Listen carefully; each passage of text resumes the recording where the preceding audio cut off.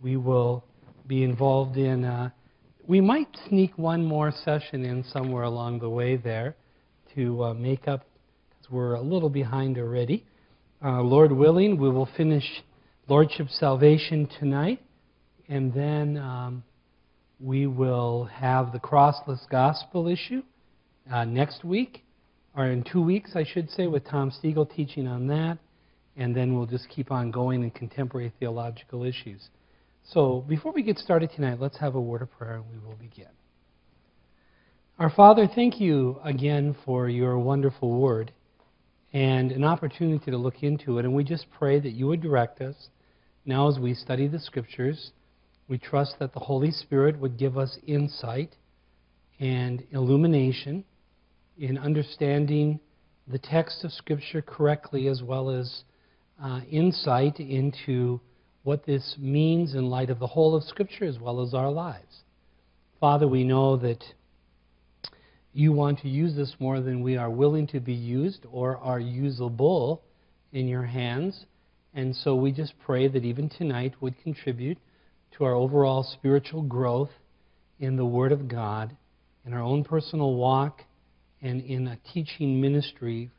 For we know that ultimately the objective of Gibbs is to equip believers to be faithful, grace oriented expositors of Scripture for your glory in the building of your church. And so I trust that you will grant me what I stand in need of and everyone here as well, and those who are watching tonight, whether in Milwaukee or Minneapolis or somewhere else. So we commit all this to you now in Jesus' name. Amen. Okay, we get started, I first of all need a cell number for those who are out there watching in Milwaukee and so forth who may have a question. So, who do we want to do? Pooji, did we do that for you last time?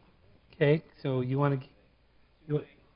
Okay, here's the number 218 409 7908, taking text messages. For your questions, usually uh, it's about a minute and a half or two minute delay in some of these other places, and so if we get ahead, we'll just stop and go back and take a look at what it's saying. So, I'd like to invite you to open your Bibles with me to 1 Timothy chapter 4 as we get started tonight and have some pondering the page. 1 Timothy chapter 4.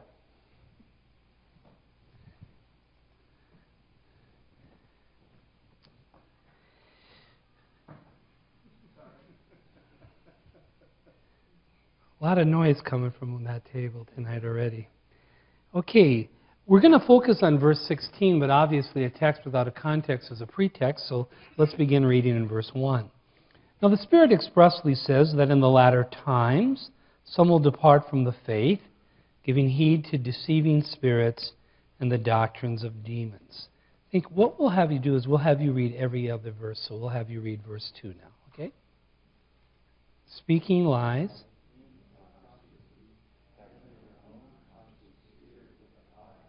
Forbidding to marry and commanding to abstain from foods which God created to be received with thanksgiving by those who believe and know the truth.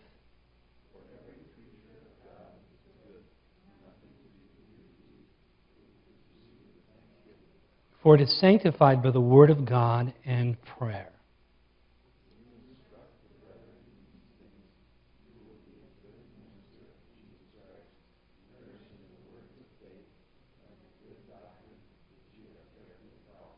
But reject profane and old wives' fables and exercise yourself towards godliness.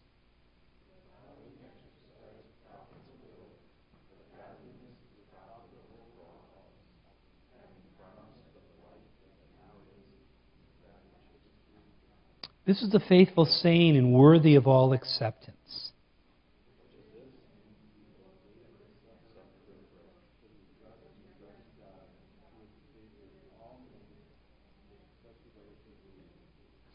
These things command and teach.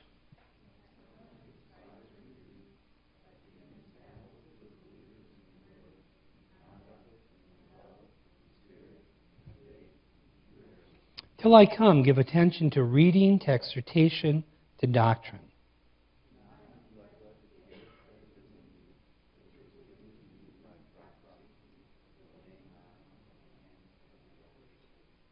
Meditate on these things, give yourself entirely to them, that your progress may be evident to all.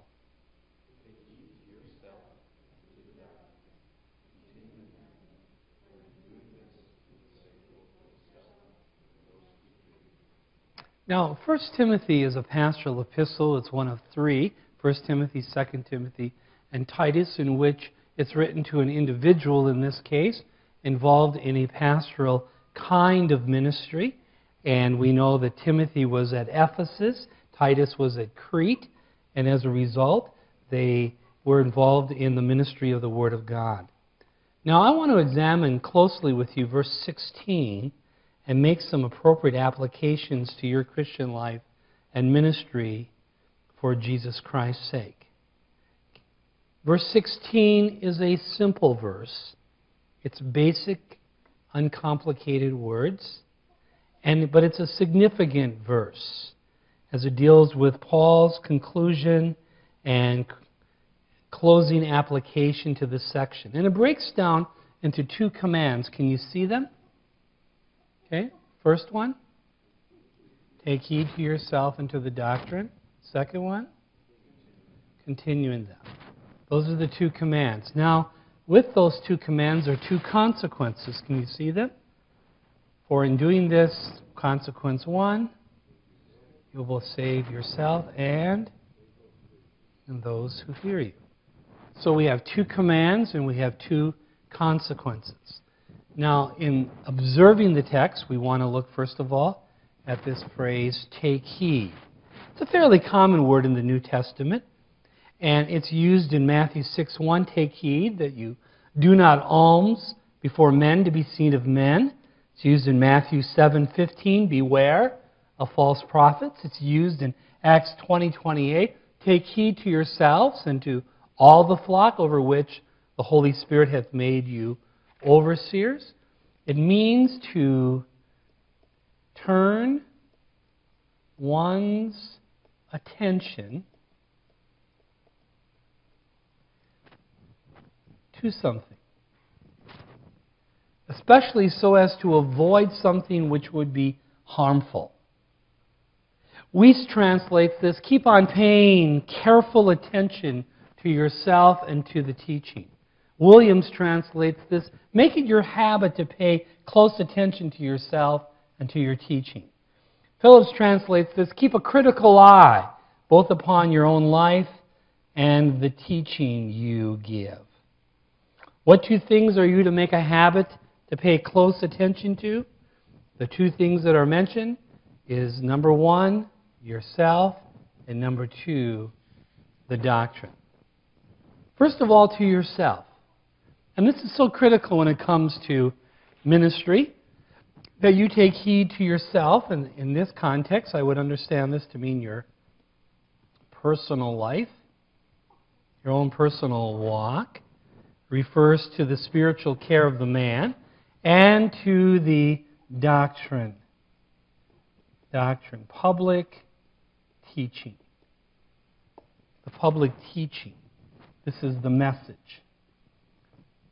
So we see, take, as it were, we'll put this the messenger. Take heed to the messenger and to the message. Now, do you think both of these are areas are significant? They're critically significant. Why? Because you don't teach in a vacuum. You're teaching the context of your own walk with the Lord, your own growth in the Lord, your own emotional, spiritual state as well. So take heed to yourself as well as to the doctrine. And both, again, are needed. Now, even about your own personal life, the scriptures are replete with many verses that encourage you to, to walk by faith and to walk in the Spirit and to be growing in your Christian life, walking in the light as He is in the light, that you have fellowship one with another, as well as to the doctrine, to study to show yourself approved unto God, a workman that doesn't need to be ashamed, rightly dividing the word of truth. And be not many teachers, for they shall receive the greater judgment. And I think there is a significance even to the order here. Take heed to yourself, speaking of the vertical, and to your public teaching, speaking of the horizontal, towards others. You see, God is first of all concerned about who you are more than what you are doing. He's concerned about being versus doing. The vertical before the horizontal. As I've said many times, just stay focused on the vertical and God will direct you on the horizontal. You know, be concerned about the, the depth of your life and God will take care of the breadth of your ministry, as it were. And in order to fulfill this first command, now what's necessary? For you to take heed to yourself requires what? Well, it requires a willingness to do this, a teachable, correctable, humble attitude. And too often that's missing among believers. They're not willing to be corrected, they're not willing to evaluate, or they evaluate in such a way in which, in many cases, they just, you know, evaluate extremely favorable about everything about them. In fact, sometime in the next month or so, we're going to ask you to um, meet with us in spiritual leadership here and to have what we call a GIBS checkup. And it's just a time for us to get some feedback from you and to find out how you're doing and what you're thinking and where you're at and so forth. And as you know, on those checkups, sometimes we'll ask questions like, Where do you have any desire for ministry in any of these areas? Where do you sense your spiritual gifts lie in these areas? Know, how are you doing in your marriage? How are you doing in your walk? How are you doing balancing your family? So forth and so forth. What do we encourage you to do? To take heed to yourself. But you know, we've had some gift students in the past when it comes to giftedness, and we list these various spiritual gifts, and, and we've had some check them all. Like they were, you know, Superman, and they're just looking for kryptonite somewhere, you know. They just had such a high opinion of their own giftedness. We've had to say, you know, you're not God. I mean, come on. Take heed to yourself. Get some objective feedback in your life. And when it comes to taking heed to yourself, take heed to your thinking. Are you thinking principally? Your motives. Why are you doing what you're doing? Are you doing it as unto the Lord or not? Your actions your habits, your priorities, your focus. Take heed to yourself. Now, I'm not suggesting constant introspection so that you get your eyes off Jesus Christ. But I have run into people from time to time who don't take the time to stop and evaluate hardly at all. They're just out hustling for the Lord and they're assuming they're doing great spiritually and they don't stop and say, Lord, Search me and know me and know my ways and see if there's any wicked way in me. Lord, I have no claim to fame. I am nothing in myself. I can do nothing of myself. Lord, I am just a willing instrument in your hands. And Lord, if there's something here that needs to get corrected, indeed, Lord, by your grace, this is what I want. Take heed to yourself. Now, this is where also as iron sharpens iron, so one person can sharpen another. This is where, at times, individuals could be of help to you.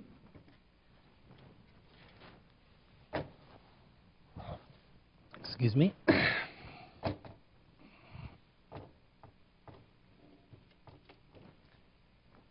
And I recognize when people give you feedback, you have to evaluate that, pray about that. But that's one of the roles of spiritual leadership at times is to give you feedback, at times maybe to confirm something in your mind, to encourage you, or even to challenge you. And I would encourage you to just take it from the Lord, pray about it, evaluate and let the Lord show you. Don't react, just respond. Be teachable, be humble, because we know, need to take heed to ourselves and to the doctrine to the doctrine. Now, the doctrine, obviously, is the public teaching of the Word of God. And you know, that's why you're in GIBS. For to some degree, you have not only a great interest to learn the Word, but in some capacity have some desire to teach the Word in the future, or at least you're seeking to evaluate and see if that is the case or not. And as you know, there's a great need for grace oriented, Bible teaching missionaries, pastors, and teachers of God's Word out there. Not only in our church, as we think of the next generation coming up, we think of some of the folks in our church getting older and older and will be needing replacement down the road, but also even just the landscape all around us. You know, I was just talking to a pastor here recently who approached me about the possibility of, of someone being involved in, in uh, planting a church, as it were, in a location. Would we have any GIBS people available to do that? You see, the need is great. Take heed to yourself and to the doctrine. And by the way, when it comes to the doctrine, it will be tested. And it needs to be squared with Scripture. And at times you will be challenged as to what you believe, why you believe it, and is it really rooted in Scripture or not. And we need never fear going back to the Word of God and making sure that what we believe is truly in line with Scripture. But remember, it's required in stewards that a man be found faithful. And I would encourage you immensely to be faithful before the Lord in your walk, in your study of the Word of God. Don't get behind. Try to stay on task and be faithful to what the Lord has called you to do. Now, how often is this necessary to take heed to yourself and to the doctrine? Well, the word take heed is in the present tense which means over and over again. Over and over again. Repeatedly as needed. Again, not constant introspection, looking to the Lord, but a willingness to let the Spirit of God show you what He wants to show you when He wants you to see it. Now, does this come about by accident? The answer is no, for this word, take heed, is in the active voice. This is something you must choose to do. And let me just encourage you as I think of this to don't neglect your spiritual walk with the Lord. Don't neglect your spiritual priorities. And by the way, you can't live on your mate's fellowship or someone else's. Someone else's fellowship can encourage you, but you can't live on it. You got to have your own fellowship with the Lord. You got to taste and see the Lord as good yourself. You have to be willing to just walk personally with Him every day. And, and He is so gracious and so faithful and so willing. But we are so prone to independency that we need to take heed to ourselves and to the doctrine. That's the first instruction in this summarizing verse of verse 16. As we think of taking heed to the doctrine, I think of verse 6 there. If you instruct the brethren in these things, you will be a good minister of Jesus Christ, nourished in the words of faith and of good doctrine, which you have carefully followed. Verse 13, till I come, give attention to reading, to exhortation, to doctrine. And don't ever underestimate the importance of doctrine. And by the way, you don't have to make doctrine relevant. Doctrine is relevant. Sound Bible teaching in itself is relevant. It's timeless and it's needed. And the Lord would have to direct you as to the applications you would make in light of the audience that you have, whether you're teaching Sunday school or an adult elective class down the road or in some church plant or whatever. The Lord would have to direct you. Now, in verse 14, it says, Do not neglect the gift that is in you, which was given to you by prophecy with the laying on of the hands of the eldership. You say, no, what does that mean? Well, let, let me clarify it. First of all, he's reminding him that he has a spiritual gift, the gift of pastor, teacher, at least teacher, and that he wasn't to neglect this.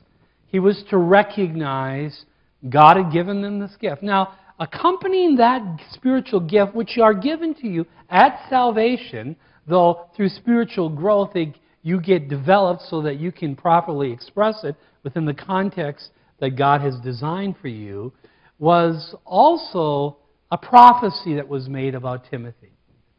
Some, a prophetic utterance was given to someone about Timothy and his ministry.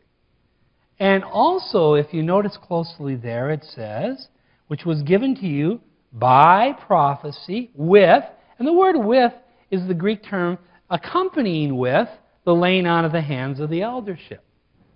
In other words, there was not only a prophetic utterance, but the eldership, the elders of the local church, came and they put their hands, as it were, on Timothy and they said, We believe this is what the Lord has. We are behind you. We are supportive of you, in a sense, and we are appointing you into this role. And by the way, that is one of the functions of, of spiritual leaders again. And what's interesting is he didn't go parachurch, he didn't bypass local church, he didn't bypass spiritual leadership. That was all part of the confirming process. And spiritual leadership, when they're walking with the Lord and wanting to further the Word of God, isn't going to hold you back. It's going to be used of the Lord to confirm. And in fact, those who think they don't need that and they can go without it, oftentimes do so to their own detriment in light of the fact that God has designed this blueprint, which, when followed, works according to the way God wants it to be.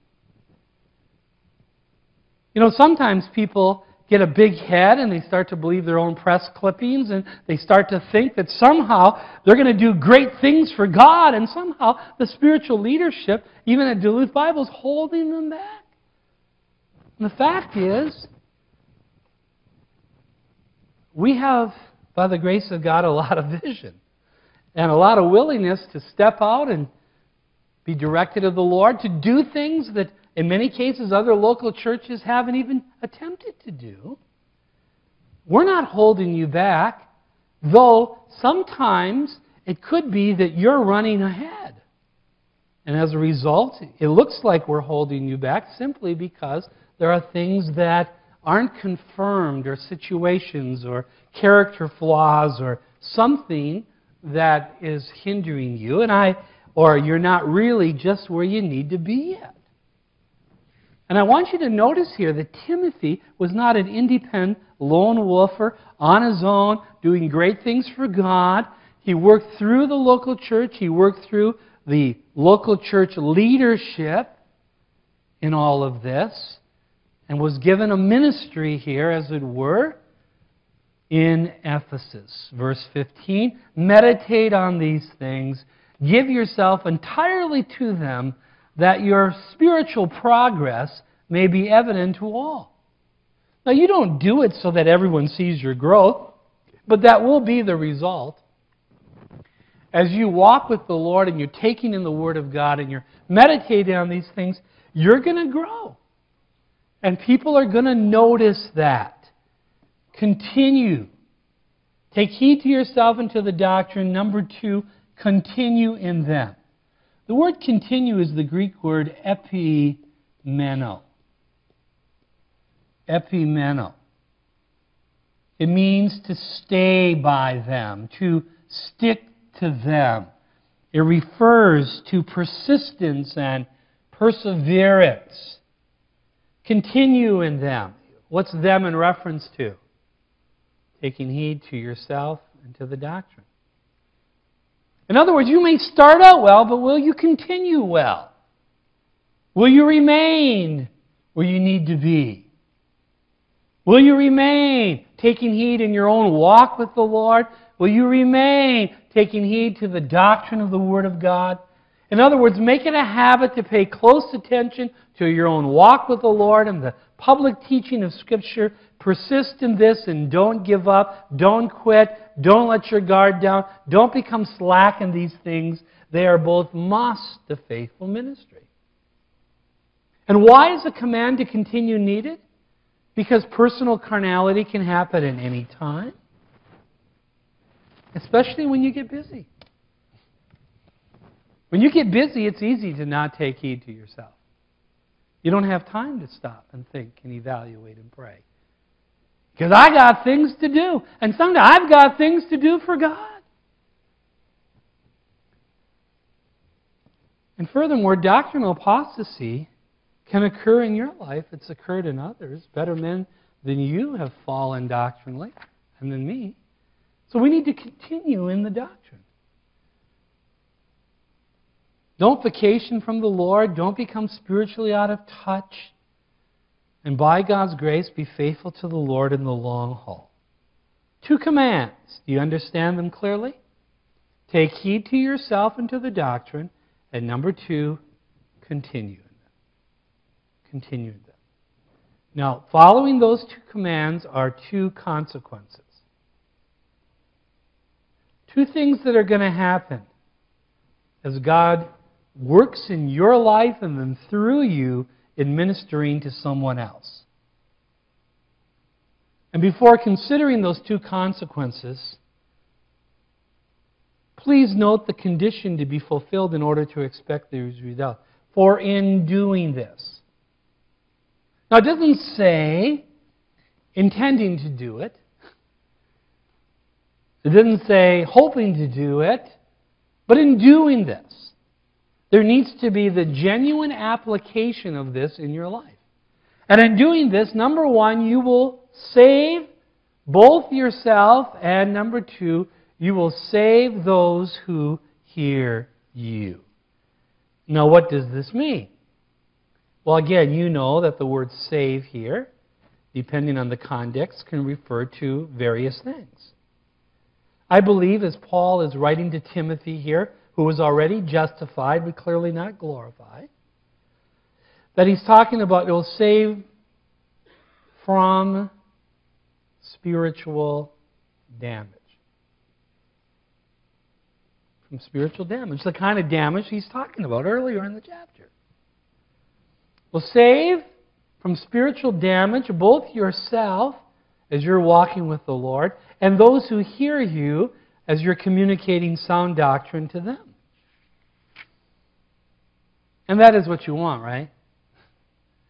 You want the unbeliever to be saved, and then you want believers to be saved from themselves and saved from the power of sin and saved from spiritual damage in your, their life. And we keep in mind, you can't save them, but you can be used of the Lord to teach the Word of God, to point them to Christ, so that they, as they hear you, can respond to the Word of God in their own lives and realizing the resources of God's grace, learn to walk by faith and be saved. Second tense. And this is a good example. With, with apart from understanding of three tenses of salvation, this would be utterly confusing.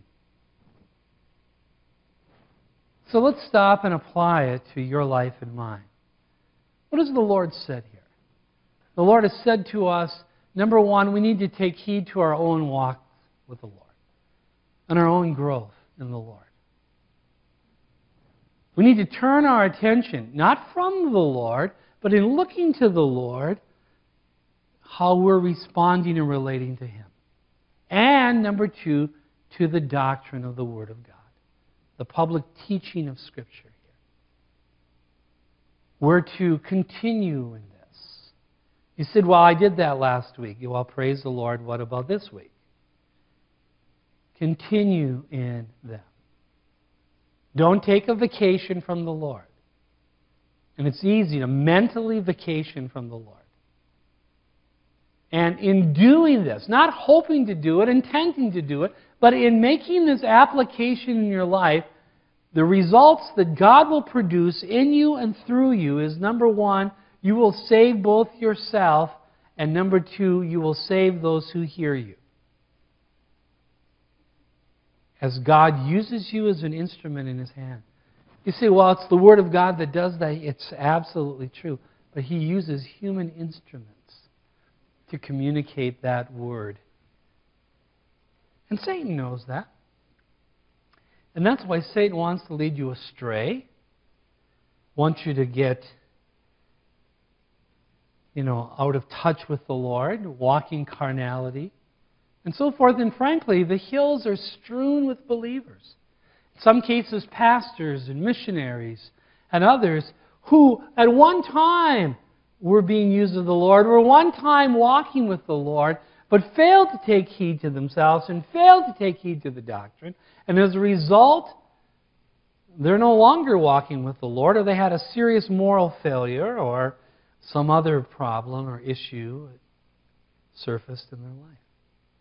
And you know, we're in a very real spiritual battle. Very real. And we need to take these things to heart. And it's been said before, but it bears repeating. The easiest place to backslide is in seminary.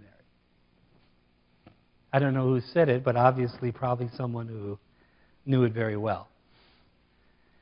And the same is true in the Grace Institute. You can just go through the performance and perfunctory of it all. You can just do your assignments. You can show up to class and so forth. But are you really taking heed to yourself? Are you making sure the eye, the beam is out of your own eye? Are you making sure that you're confessing your own sins? Are you making sure that you're looking to Jesus Christ and walking in dependence upon Him? Are you really teachable, or when someone corrects you, are you devastated? Because it really was so much about you and not about the Lord, though you said it was about the Lord. And the fact is, when you get devastated, when you get corrected, the fact of the matter is, it was a whole lot more about you than you think.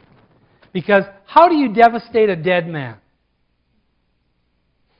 And if you're reckoning yourself dead to sin and alive to God, how do you devastate the pride of a dead man? The fact is, we're a whole lot more lively than we'd like to think.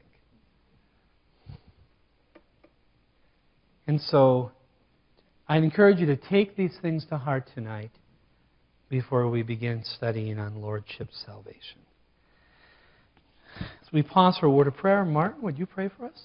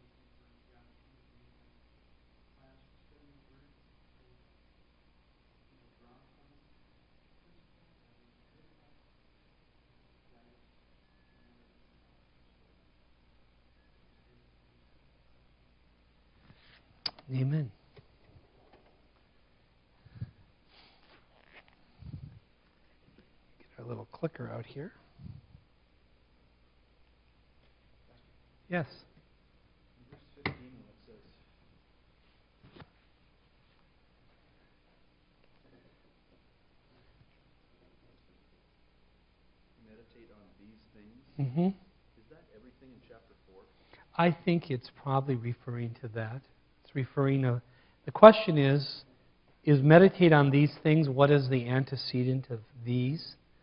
And I would assume it's what he's been talking about in chapter 4, the incoming of false teaching, the importance of being a faithful minister, the importance of growing in the Lord yourself and being a good example, you know, and being fulfilling the role that he has, verse 13.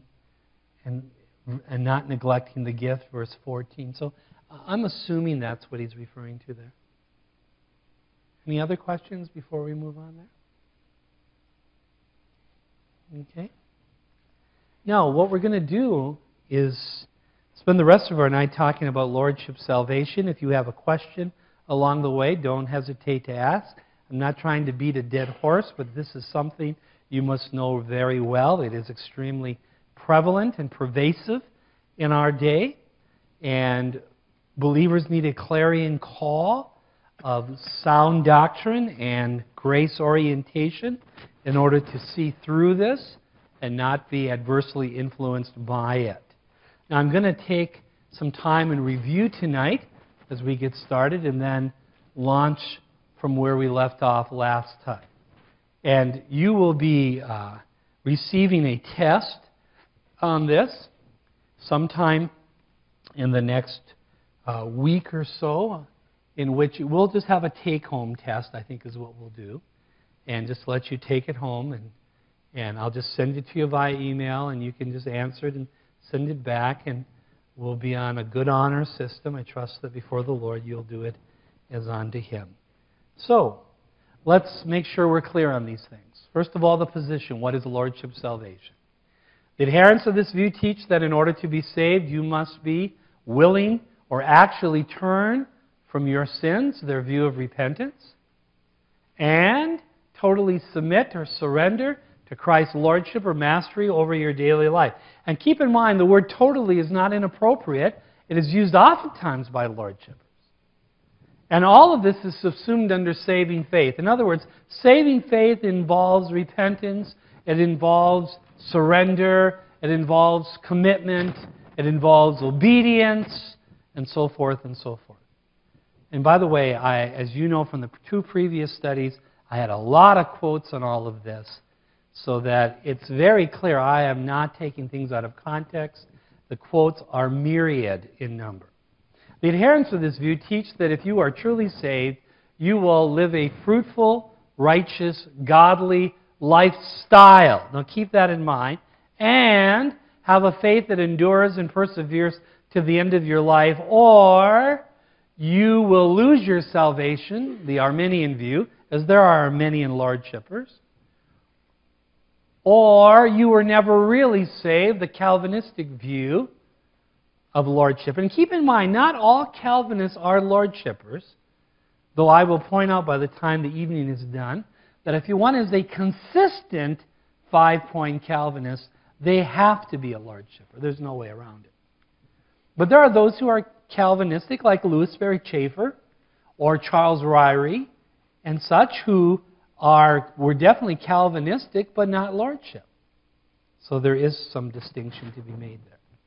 The adherents of lordship salvation arrived at these conclusions due to a dismay at the professing church and its sad spiritual condition, and we would agree. It's Laodicea in nature a genuine desire for fruitfulness and faithfulness among believers, and again, we certainly sense that need, combined with faulty exegesis and forced eisegesis that imports or introduces a theological viewpoint upon various passages of Scripture. And I will support tonight that criticism of Lordship salvation. I've already been pointing several things out, many more will be addressed tonight. Now, we went from the position to the popularizers who teaches Lordship salvation. John MacArthur, John Piper, R.C. Sproul are the three big names. And there are a number of others that we referred to as well. But keep in mind that this study is not a negative attack on their personal lives. We're not attacking their motives. We're not attacking their sincerity. We're not even saying they're not saved. It is an examination, though, of the their teaching of Lordship salvation under the searchlight of Scripture. And by the way, they've done the same to others' teaching. And scripturally, we are to test all things, hold fast to that which is good, and to abstain from all forms of evil. We then began looking at the problems of the Lordship salvation. And how does the teaching of Lordship salvation line up with Scripture? We notice, first of all, that Lordship salvation garbles the gospel by mixing your works with Christ's finished work. And again, what is the gospel? Christ died for our sins and rose again in order to provide salvation for us, outside of us and in spite of us, through his finished work received through simple childlike faith in him.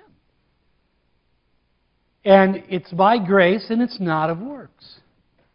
John MacArthur says in the Gospel according to Jesus, Christ challenged the bogus profession of those who called him Lord, but did not really know him, and he made it clear that obedience to divine authority is a prerequisite of entry into the kingdom. Clearly, his lordship is an integral part of the message of salvation. Now, he's quoting or he's commenting on Matthew 7 21 through 23. Lord, Lord, haven't we done this? Haven't we done that? Haven't we done this? He missed the whole point. The point was those false professors that were unsaved were relying upon their obedience, on their works, in order to be saved, not in doing the will of God, which involves putting your faith in the Lord Jesus Christ. In his book on faith works, The Gospel According to Jesus, he says, Jesus is Lord of all, and the faith that he demands involves unconditional surrender. He does not bestow eternal life on those whose hearts remain set against him. Those who truly believe will love Christ.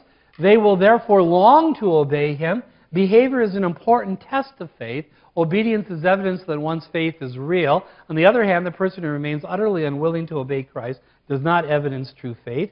Genuine believers may stumble and fall, but they will persevere in the faith.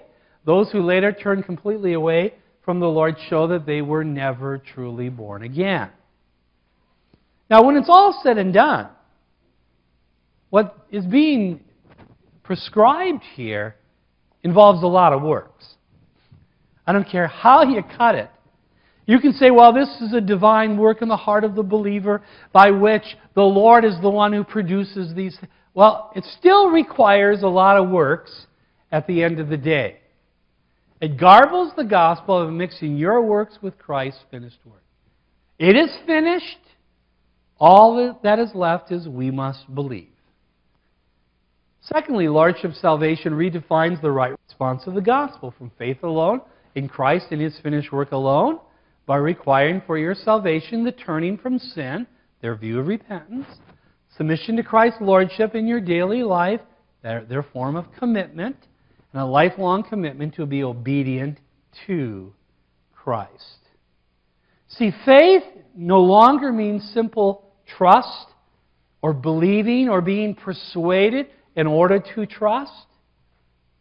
Now it's defined in terms of what I would call, in many cases, works.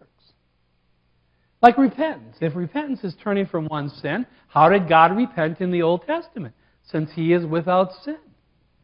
And Amos 7, verse 6 tells us the Lord repented. The New American Standard has it right. He changed his mind. So the formula for Lordship salvation is faith in Christ is turning from sin, plus total surrender, plus lifelong commitment equals eternal salvation. And you can, again, turn that on all fours and make it squeal and say it's all by grace, but this is clearly works. What about repentance? Involved in salvation is a change of mind, as the word repentance means metanoia, so as to not trust in false religion and dead works that cannot save, and to trust in Jesus Christ alone, who alone can save you. The issue in salvation is not turning from sins in your life, as needed as this might be, but turning in faith to the Savior who died for your sins and rose again. Thomas Constable writes it's asserted that repentance, which is a change of mind, enters of necessity into the very act of believing on Christ, since one cannot turn to Christ from other objects of confidence without that change of mind. And I would say, Amen. Obedience is another key word. And the issue in salvation is not the obedience of one's daily life to the mastery of Christ, but to obey the gospel by believing it. Lord, who hath believed our report? The question. They have not all obeyed the gospel, for Isaiah said, Lord, who hath believed our report? And then commitment. The issue in salvation is not one of making some promise and pledge to God to do something for Him, but involves entrusting your eternal destiny to Jesus Christ, whom you have trusted to save you. In fact, this is just such an amazing quote, I thought I should repeat it tonight again. It just blows me away that when people read this or hear this, they're not screaming, that's works.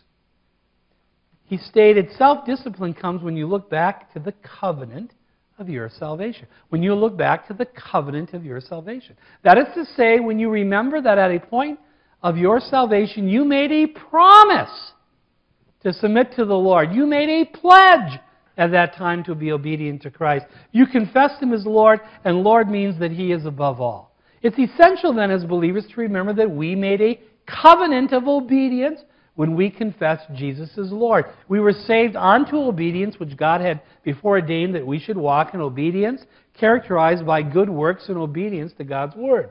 That pledge was inherent in salvation.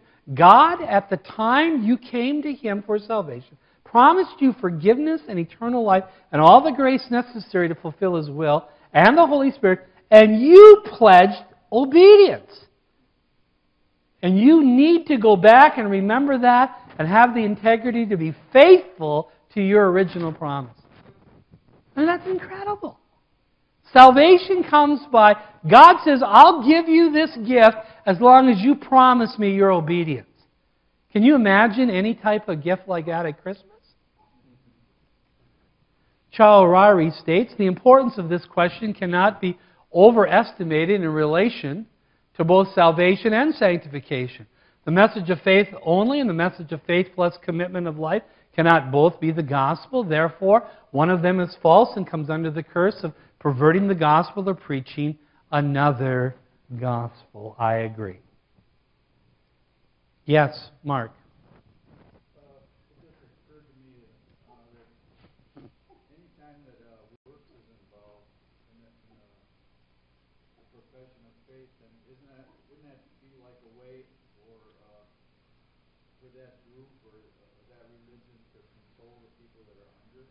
Okay.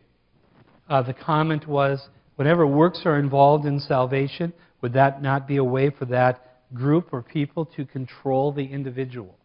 And I think what it does is it puts you on a performance based acceptance, which is what legalism always does. And legalism always puts you into bondage, and it's a form of control. To what degree? Depends on the group. Like yeah, giving, like serving, or whatever. Is saving faith a gift from God? And the answer was no. In fact, the word saving faith, I don't even particularly care for it, though I do can interact with it because I understand theologically what people are talking about. But salvation or eternal life, not faith, is the gift of God, received through childlike faith in Jesus Christ alone. Is saving faith a special kind of faith? And the answer is, is no. It is your faith which is non-meritorious in a saving or special object, the Lord Jesus Christ and His finished work. Notice, but to him who does not work, but believes. Which means believing is not a work, which means believing is consistent with grace, which means believing is non meritorious, and that's why, for by grace you've been saved through faith. Grace and faith go together. They're both non meritorious because the value of your faith lies not in your faith, but in your object of faith. And that's why you believe on Him who justified the ungodly. His faith, not God's gift to you, but His faith is accounted for righteousness. Do the Scriptures teach easy believism? The scriptures teach that salvation involves simple trust like a child has, but believing is not always easy. And you have to keep in mind, you've got lordship here. We'll put that over here. And then you can have what Michael Cocoris calls decisionism here. And by decisionism, he's talking about raising a hand, signing a card, walking forward, asking Jesus in your heart, saying the sinner's prayer. And this, remember, Lordshippers call this easy believism, but they also lump us who would say no, it involves personal trust in Jesus Christ alone. They'll oftentimes lump us under easy believism too. And we would certainly disagree with this, and certainly disagree with this, and agree with Acts 16:31, believe on the Lord Jesus Christ and you will be saved. Okay, Robert? But, Pastor, is there truly anyone who believes that if you sign your name or raise your hand, you're saved regardless of whether you believe or not? I mean, don't those people think you need to believe something? Yes. The question is um, don't people who sign a card or raise a hand think they have to believe something? Sure, they do. And they think that uh, since I asked Jesus into my heart, I'm saved. That's what they believe. I signed a card, I made a decision for Christ but it doesn't mean they understand the gospel. In fact, I was talking to a fella, Roberto Cadena, who's been a translator for us down in El Salvador. He lives in the Dallas area, and he told me that he worked at a, I think it was a Billy Graham crusade once years ago, but it was somebody. And this lady came forward, and he was one of the counselors. So he took her aside and said, So do you know for sure you're saved now? And she said, Yes. Said, Well, why? He said, Because I came forward. And I said, You came forward. Well, what do you believe? I'm not sure, but I came forward. And he said, If I came forward, I was saved. So she had faith in her coming forward. It was just another religious work that they were doing. Now, I did watch, um, you know, now that I, I've, I've got my $86 digital TV, which Jeff Nichols was in line on Black Friday and he got it for me.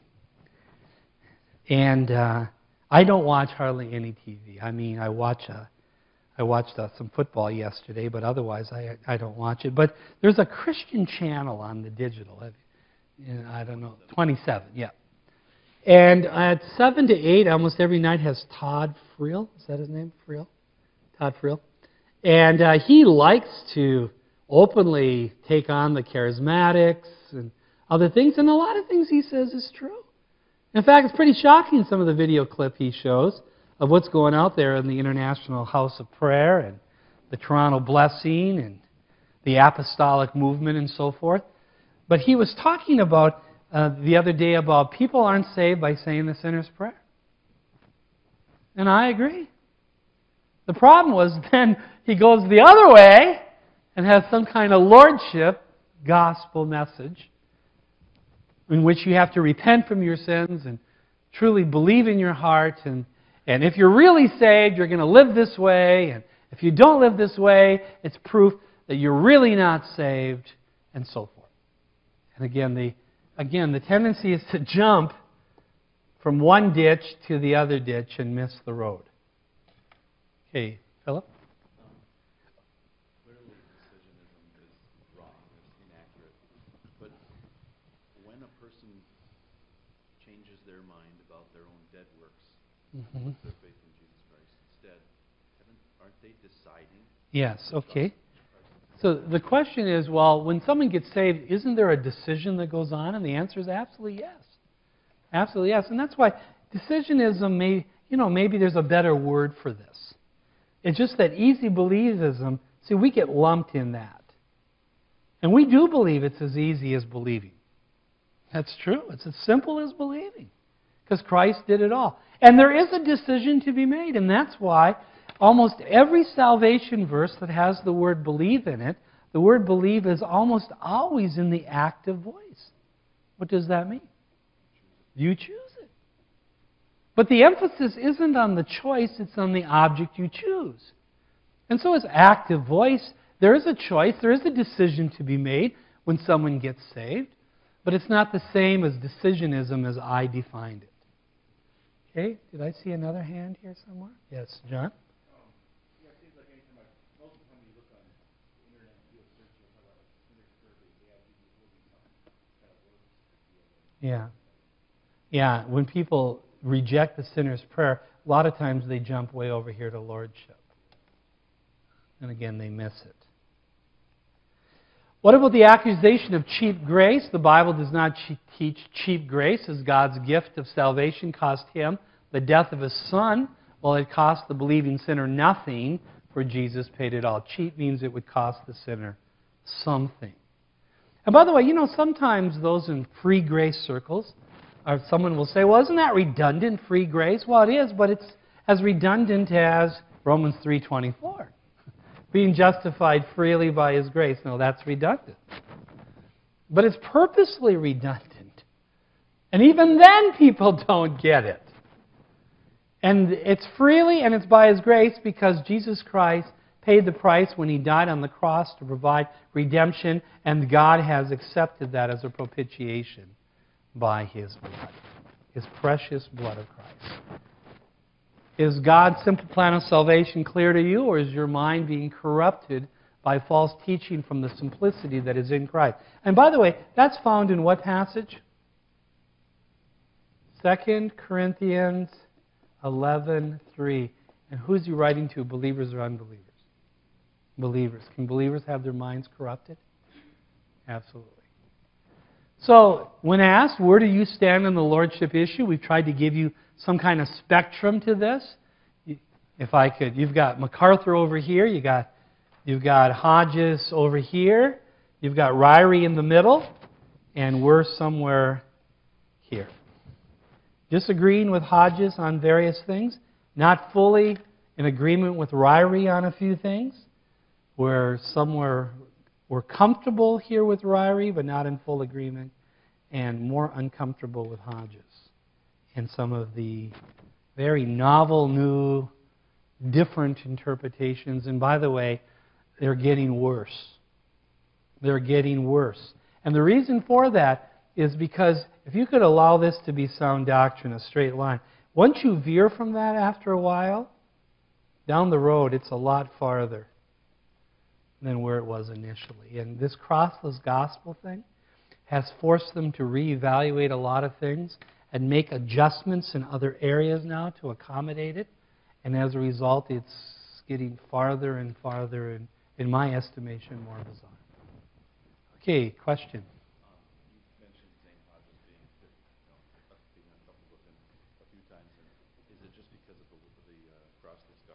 Okay. Okay. The question is, uh, Zane Hodges, um, what are we uncomfortable about? Well, Hodges definitely took on MacArthur. When he, MacArthur came out with his book on Lordship Salvation, Hodges responded with the book Absolutely Free, as well as he responded with a couple other small books. Um, and in doing so, he took some views that I'm uncomfortable with regarding the overcomers, regarding wailing gnashing of teeth. Uh, some things regarding rewards I would agree with, but some things I would clearly disagree with. And I would contend that oftentimes those in the Grace Evangelical Society, which I was a member of for 20 some years, um, that the views they're taking today is basically lordship salvation second tense what lordshippers do to first tense, they do to second tense, and they ultimately are teaching in many cases faith plus works equals sanctification. And they're pretty open about it. And if you don't hustle enough, you're going to experience outer darkness, wailing, gnashing of teeth, millennial loss for sure, and perhaps even millennial exclusion. There are those who believe that to him that overcometh he will not be hurt by the second death. If you are not an overcoming Christian, some will be actually cast into the Gehenna for a thousand years and totally miss the kingdom. And praise the Lord, we believe in grace. How ironic in it all. Okay, John?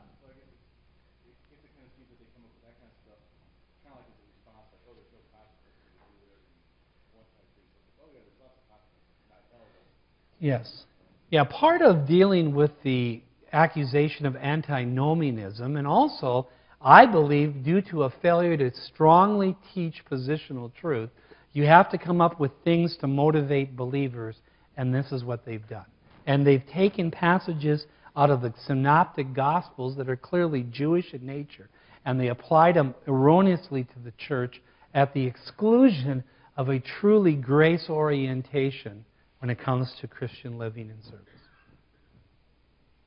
I, I, know some would disagree with that evaluation, but I think it's, it's very justified on a whole. Okay, number three, we covered Lordship salvation confuses Christian carnality by denying its ongoing possibility or reality while then disregarding blatant scriptural contradictions in several examples of passages. By the way, if you don't believe in Christian carnality, can you explain to me practical exhortations in the Bible? Why would he tell believers to become holy as he is holy if they're going to obviously be that if they're truly saved? Why do you tell them to walk in the Spirit and they won't fulfill the lust of the flesh if indeed all genuine believers are going to walk in the Spirit? It, it renders exhortations meaningless.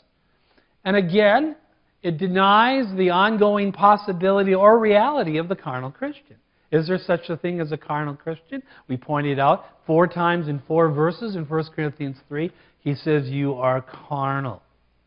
And thus we understand the Bible teaches there's a natural man, a spiritual man, and a carnal man. The natural man, again, is unsaved. The spiritual man is saved. The carnal man is saved. The assets of the spiritual and carnal believer are identical, but the spiritual believer's problem is none in the sense that he's yielding and responding to the Word of God. He's not resisting, where the carnal believer is. And as a result, the chief characteristic of the spiritual believer, he's positive towards the Word of God. He's willing to be taught in contrast to the carnal believer. Now, can a carnal believer in Christ be consistently carnal? Well, the Corinthians were, verse 3. For you are still carnal. And Paul is writing this uh, a few years after he was there. So clearly they can be. And again, the church was characterized by all kinds of problems and a great need for correction in light of their characterization of carnality. Furthermore, the Bible is clear that if anyone's work is burned, he will suffer loss. How can you have a believer who suffers loss of a reward? And remember, I believe that scriptures teach either you get a reward or no reward, though there can be degrees within a reward. How can you have a believer who suffers loss of potential reward without him being carnal. But he himself will be saved, yet so as through the fire. Does God discipline believers who persist in sin? And the answer again is clearly yes. He did that with the Corinthians, and he promises in Hebrew 12 out of love to do it to all believers. The fourth issue we had with Lordship salvation is it fails to properly distinguish the biblical truths of justification before God and practical sanctification in time. What do Lordship salvation teachers teach regarding these matters? Well, Grace Community Church, where John MacArthur pastors, states in their paper on their distinctives that Scripture teaches that real faith inevitably produces a changed life. Salvation includes a transformation of the inner person the nature of the Christian is new and different. The unbroken pattern of sin and enmity with God will not continue when a person is born again. Those with genuine faith follow Christ, love their brothers, obey God's commandments, do the will of God, abide in God's word, keep God's word, do good works, and continue in the faith. Now, what's the first question immediately when you see a list like that? How often? How often? To what degree? And what about when you're not?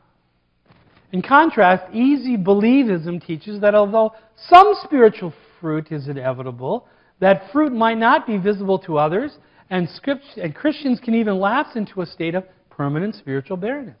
Now remember, some spiritual fruit is inevitable. Wait a second, how can you have some spiritual fruit if you're not saved? And that fruit might not be visible to others. Wait until you see the quote I have on MacArthur, where he talks about fruit. And just remember this eight. John Murray says the crucial test of true faith is endurance to the end, abiding in Christ and continuance in the Word. He cannot abandon himself to sin. He cannot come under the dominion of sin. He cannot be guilty of certain kinds of unfaithfulness. Wait a second. What do you mean, certain kinds of unfaithfulness? So there's certain kinds of unfaithfulness you care. Let us appreciate the doctrine of the perseverance of the saints and recognize that we may entertain the faith of our security in Christ only as we persevere in faith and holiness to the end. Which means you don't know you are secure. You only know it to the degree that you think you are by virtue of your own walk with God. MacArthur says, and say without a doubt, if a person fails to love and obey the Lord through the trials of life, then there's no evidence that he possesses saving faith. Really, you mean if you fail to trust the Lord in a trial, you're not saved? How many people do you know who came to church for a while, had a little trouble in their life, and left? Although they may have made a profession of faith in Christ, they cannot be identified as those who love Him because their lives are not characterized by an enduring obedience. Can you see why they're going to lack assurance. And remember, the purpose of 1 John isn't so you could know you're saved, it's so that you could have fellowship as a believer the Lord. MacArthur says the gospel demands surrender not only for authority's sake, but also because surrender is the believer's highest joy. Such surrender is not an extraneous adjunct to faith, it's the very essence of believing. Now, I want to ask you a question. When you say, I trust that chair, do you surrender to the chair? When I say to you, I've got $5 to give you, you believe me, do you surrender to me?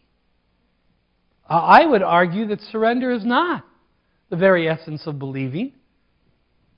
That believing is believing. Believing is trusting. Believing is relying. Believing is taking someone at their word. Believing is judging him faithful who promised. What saith the Scriptures?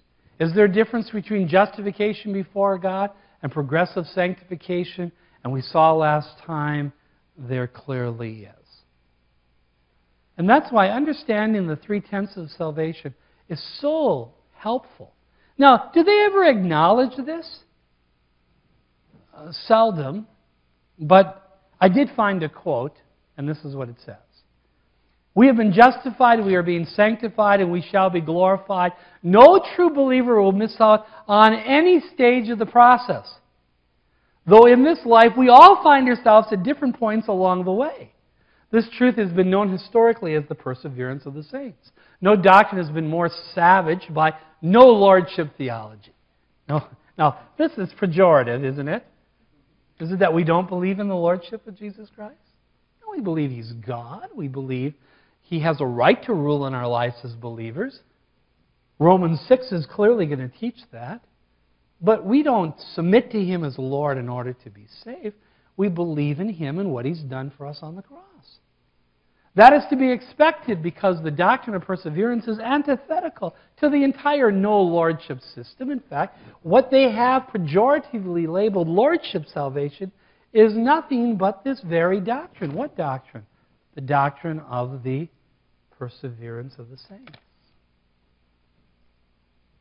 What do lordship salvation teachers do with discipleship passages? We've seen they make them salvation passages.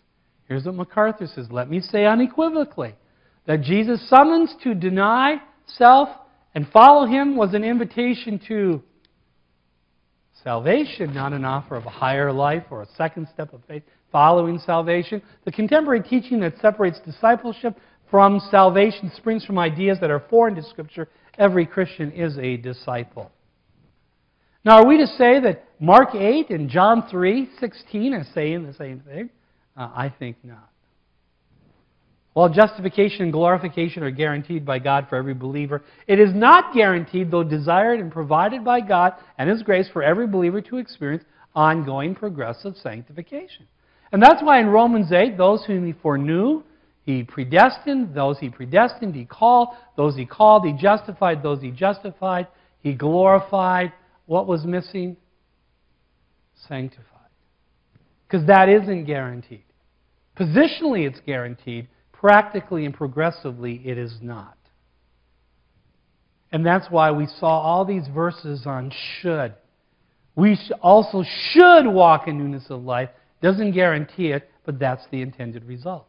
We should bear fruit to God, Romans 7 4. We should serve in the newness of the Spirit, not in the oldness of the letter, Romans 7 6. We should live no longer for themselves, but for Him who died for them and rose again. But it doesn't guarantee we will. We should walk in them, but it doesn't guarantee we will. We should no longer walk as the rest of the Gentiles walk in the futility of their mind. The implication is we might not. We should abstain from sexual morality, but believers at times haven't abstained. We should live soberly, righteously, and godly in this present age, but it doesn't guarantee that we will. We should be careful to maintain good works, but at times believers haven't. So, is it possible for a genuine believer in Christ to fall away from Christ instead of following Him? The answer again is yes. And towards the end of last time, we saw these verses indicate a believer can fall into unbelief, can fall in his walk, can fall into calamity, can fall into sin, can fall into legalism and away from the principles of grace, can fall into reproach and the snare of the devil, can fall into temptation, a snare, and many harmful lusts, can fall into unbelief or disobedience, can fall into unfruitfulness or disuse, can fall from his own steadfastness, and can fall from his first love. Is it possible for a genuine believer to be unfruitful instead of fruitful for Christ? And the Bible says yes. Lordship salvation says no. For if these things are yours and abound, you will be neither barren nor unfruitful in the knowledge of our Lord Jesus Christ.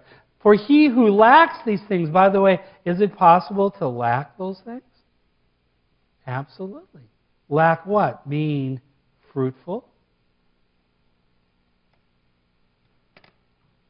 Is short sighted even to blindness and has forgotten he was cleansed from his old sins. Therefore, brethren, be even more diligent to make your call and election sure evident, for if you do these things, you will never stumble. Is it possible for a genuine believer to apostatize or turn from the truth? The answer is yes.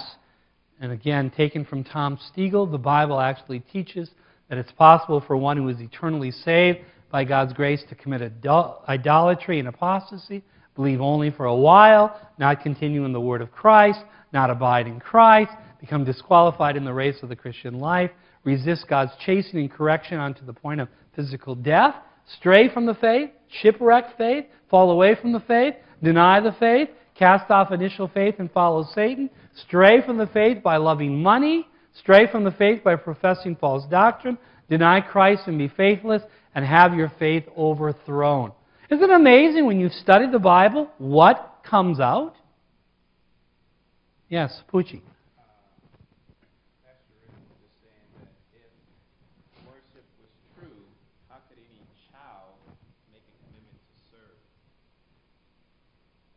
Okay? Yes. Yeah. You know, Lordship salvation clearly has a dilemma when it comes to the salvation of children. Because, and here's how they get around it they'll say when, when a child gets saved, they make a commitment to be obedient to the Lordship of Christ, but at that time in their life, they do not understand the implications of that commitment. We're talking about a child who's seven, eight, nine. Okay? So what was the question? He's just saying if, if, a, if Lordship is true, how could any child, I think he's saying God make a commitment to serve? Do you think he means child? Okay. Yeah. I, th- I think we're talking a, a young child. And the fact is this you know, as a young child, you know, I made a confirmation vow. I made a promise and a pledge, which MacArthur says you need to make, and you did make when you got saved. By the way, when you got saved, did you make any promises, any pledges? Now, I believed the promise of God. I didn't make the promise, I believed the promise when I was saved. What about the sin unto death? Again, like Ananias and Sapphira, and like carnal Christians. Obviously, how do you explain the sin unto death if there's no such thing as the carnal Christian? Number five, Lordship salvation annihilates absolute assurance of one's salvation by causing the person to look at their inconsistent walk instead of Christ's finished work and the unfailing promises of God to possess the absolute assurance of eternal life. Now, when we finally get to where we ended last time, wave your hand, okay? We're getting there. Now, we, we've been plugging away here. This is all review, but this is for your test, and this is to cement this in your thinking. Can a believer in Christ be certain and sure they are saved forever from the moment he believes and forever? The answer is yes. These things I have written to you, believe in the name of the Son of God, that you may know that you have eternal life. And remember the word know is oida in the perfect tense, to know with certainty from the point of time you're saved to the point of time that you're living now that you have eternal life. That assurance is available in any theological system that does not grant you absolute assurance is false. Now, thinking of the theological system, in his book Saved Without a Doubt, which actually creates all kinds of doubts, John MacArthur gives 11 biblical tests of genuine salvation. Do you enjoy fellowship with God in Christ? Okay? Do you enjoy fellowship? Well, how often? Do you, are you sensitive to sin in your life? Depends on the day. Do you obey the scriptures? I mean, how do you come under that one? Oh, yeah, I always obey. I obey the scriptures so I know I'm saved. Are you kidding me? What about self deception? Do you reject this evil world? Do you love Christ and eagerly await his return? Do you see a decreasing pattern of sin in your life? The fact is, you know, as you're growing, you begin to see more sin in your life. Not because you're necessarily doing more sin, but now you're observing it more closely because you have a standard called the Word of God in order to see it. So you may not see a decreasing pattern. Do you love other Christians? Well, do you receive answers to your prayers? Do you experience the ministry of the Holy Spirit? Can you discern between spiritual truth and error? You mean like lordship salvation? Have you suffered on account of your faith in Christ? If you haven't, it could be that you're not really saved. Wow. You know what this does to sensitive, analytical type people? Devastates them. Devast- Self righteous people know, but analytical, sensitive people devastates them. Ephesians 2 8 9 makes it clear for by grace you've been saved through faith. By the way, did Paul think they were saved? Course. 1 John 5 20, 1 John 3 1 through 3. 1 John 2:12 Your sins are forgiven you for his name's sake. And we saw these verses last time. What's the basis of assurance? Primarily rest on the finished work of Christ and the unfailing promises of God. So that when you were saved, you understood that Jesus Christ, God who became a man, died for your sins and rose again, and through faith in him, you received eternal life. What do the adherents of Lordship salvation teach regarding assurance? No 100% assurance is possible till death. You should look at your fruit or behavior instead of the root, your belief in Christ, for assurance of salvation. Now, if you're really consistent about that, the moment you trust Christ, you can't know you're saved. Because you have to wait to see if you've got the real saving faith, evidenced by certain fruit, which you subjectively evaluate as time goes on. And that's why even John MacArthur, as I read last time, admitted he did not have absolute assurance of salvation. John? So, so I guess John, you know, he would say that salvation does actually occur at some point in time, you know, it's not like, you know, a process of, you know, like the Catholics would say, or something like that, but I mean, but I guess is it kind of like, is it almost like throughout the whole time, it's kind of, okay, yeah, you need to obey, you need to submit, then is there, you, only a couple of will be able to time where the person, you know, really gets it in there. Yeah. Well, what Dr. MacArthur would say, and, and what John was asking was so does MacArthur believe that at a point in time you truly are saved? And, and here's where it gets fuzzy. Because he would admit that imputation of righteousness occurs at a point in time. He would also believe that regeneration precedes faith. But genuine saving faith is not an act of faith, it's an, the seed of faith is now planted so that it's going to be ongoing. And therefore, he views salvation as a process. And his view of salvation ultimately is not a whole lot different than the Roman Catholic. There's a lot of imparted righteousness idea instead of imputed righteousness. And as I said before, in Romans chapter 4, we have the whole doctrine of imputed righteousness, in which we are justified in the eyes of God because the righteousness of Christ has been put to our account through simple childlike faith in Him, so that we are declared righteous in the eyes of God. And it has nothing to do with our life, it has to do with Christ's work.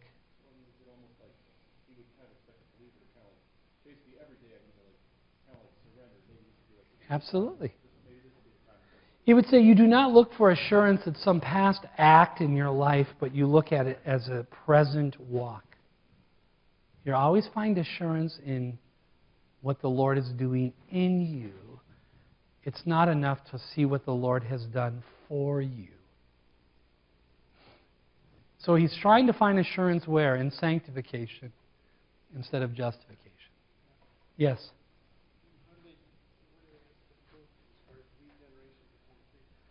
While the Calvinistic view, remember, is this, and MacArthur is clearly, I just read a quote by him today on this.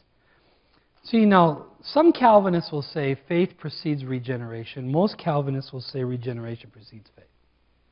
And the thinking behind it is this you are spiritually dead and therefore unable to believe.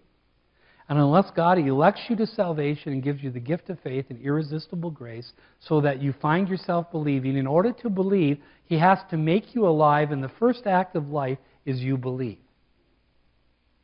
So you have to be born again to believe instead of believe to be born again. No, no, but they would say this that if you're truly regenerated, having a new nature has to manifest itself, and therefore you are going to have sanctification as a byproduct of that regeneration. You know what's really interesting about regeneration, if you just think about it for a minute? How many verses in the Bible can you give me on regeneration? Titus 3:5, you can mention that, right? Okay, Ephesians 2 says we were made alive.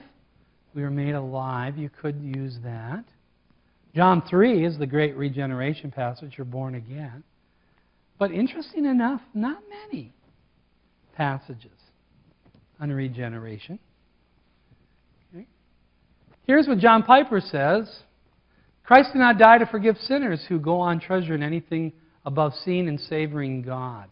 And people who would be happy in heaven if Christ were not there will not be there. The gospel is not a way to get people to heaven. It is a way to get people to God. It's a way of overcoming every obstacle to everlasting joy in God. If we don't want God above all things, we have not been converted by the gospel. Wow. That means if you love the Green Bay Packers more than God, you're not saved. Listen to what Gerstner says. This is just so telltale. Thus, good works may be said to be a condition for obtaining salvation, in that they inevitably accompany genuine faith. Good works, while a necessary complement of true faith, are never the meritorious grounds of justification, of acceptance before God from the essential truth that no sinner himself can merit salvation. The antinomian draws the erroneous conclusion that good works need not even accompany faith in the saint the question is not whether good works are necessary to salvation, but in what way are they necessary? As the inevitable outworking of saving faith, they are necessary for salvation. I mean, can you be any clearer? By the way, what does Ephesians 2 8 and 9 say? It's not of works. Not of works. Not as merely the ground, but as the means, and not only the means, but the result. It's not of works, lest anyone should boast. Yes, Angela.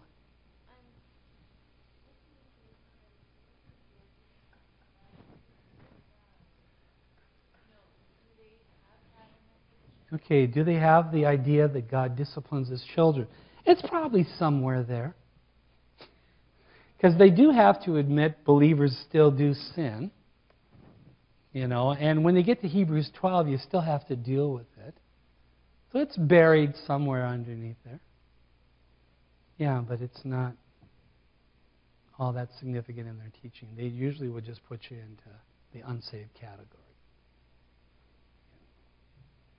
I read to you the letter to John MacArthur, which was just amazing as it came from someone from his church. And I just love how it ends. MacArthur says, The pulpit is the creator of anxious hearts, but it's also to give comfort and assurance to those who love Christ. It's the creator of anxious hearts. Then he says this listen to this. Most of the Puritans thought that believers could not expect assurance until long after conversion, and only after a life of extended faithfulness. Well, that's what he's saying.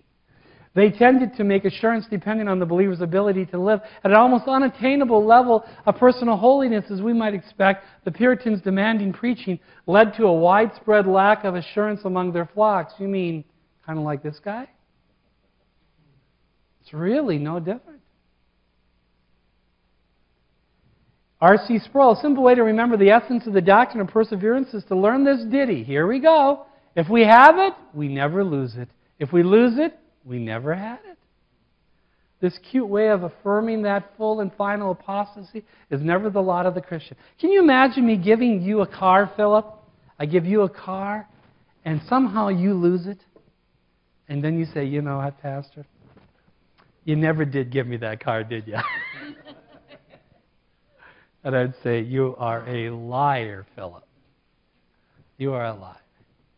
One pastor tells new converts, You must be saved for at least three years before you have accumulated enough good works to be sure that you are truly saved and not just a stony ground hearer. Wow. Isn't that comforting? At least three years. Now, what verse is that? Five point Calvinist teacher A.W. Pink goes on Readers, if there is a reserve in your obedience, you're on your way to Him. Now, that's obviously extreme. Again, we looked at biblical examples of assurance Job, David, the apostles, Martha, the apostle Paul, the Corinthian believers, the Thessalonian believers, the Ephesian believers, the Philippian believers, the Colossian believers, the Jewish believers in Christ. And we noted that secondary evidences of salvation provide subjective indicators of a new birth, a new nature, etc but do not provide the objective basis for assurance. Is it true whom the Lord loves, he will discipline? That's true. That's true. But sometimes is it hard to discern if the Lord is disciplining someone or if that's just bad choices? Or... Does the Bible teach that all genuine believers will persevere in the faith and godliness till the end of their life? And we noted the answer is, is no. Listen to this. This, is, this probably made me understand why Piper calls himself a seven point Calvinist. Because they have seven points here.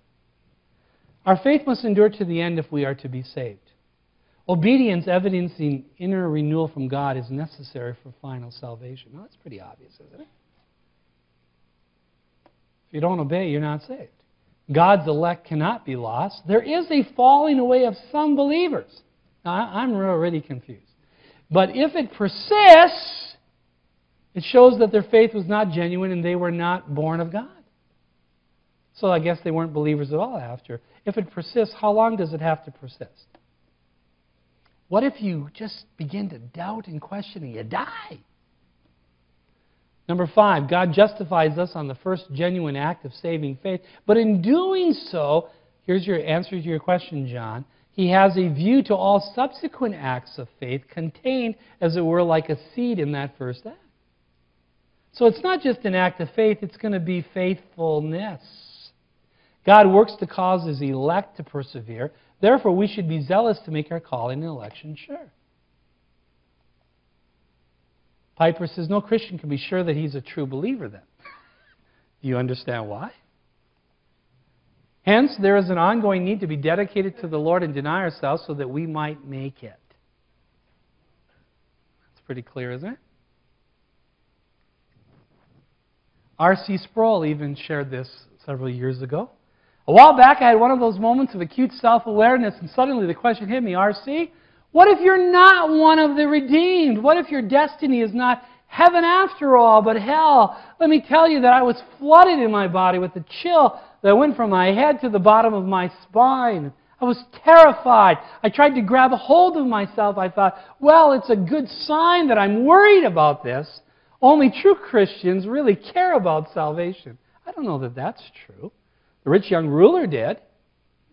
But then I began to take stock of my life and I looked at my performance. My sins came pouring into my mind. And the more I looked at myself, the worse I felt. I thought, maybe it's true. Maybe I'm not saved after all. I went to my room and began to read my Bible. And on my knees, I said, Well, here I am. I can't point to my obedience. There's nothing I can offer. I know some people only flee to the cross to escape hell. Then I remembered John 6:68. Peter was also uncomfortable, but he realized that being uncomfortable with Jesus was better than any other option. So, where did he finally seek assurance from? He went to himself and his works, and he then shifted to, you got to go back to the cross to find assurance. Which contradicts Calvinism here. Does the Bible teach all believers will persevere in the faith? Calvinist theology answers yes. They teach if you're truly elect, you'll persevere in the faith to the end of your life. Arminian theology answers no. They teach a believer can lose his faith and in doing so lose his salvation. And both of these views robs the believer in Christ of the absolute assurance of salvation. What does the Bible say? The biblical viewpoint, eternal salvation is not a prize or reward, but is a gift of God's grace because of the cross work of Jesus Christ received through faith alone in Christ alone.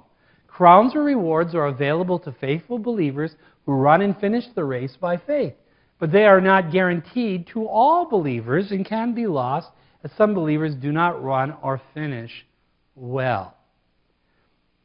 Does the Bible teach that all genuine believers will persevere in the faith? What about Lot, who lived in ongoing carnality? Solomon, who died worshiping false deities. King Saul, who committed suicide. Those Corinthian believers that God divinely disciplined to heaven via death. Demas, who forsook Paul, having loved this present world. By the way, the Lordshippers would probably deny the salvation of Saul and Demas.